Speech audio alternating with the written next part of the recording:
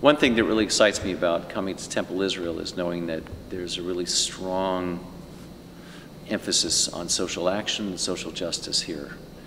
And um, I expect to be really involved in um, the interfaith community and in the social justice efforts that are ongoing here.